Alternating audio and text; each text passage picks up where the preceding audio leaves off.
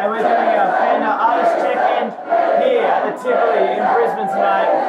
Let's do it. Woo!